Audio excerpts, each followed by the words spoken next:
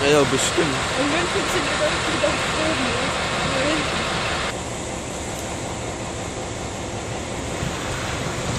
Boden ist.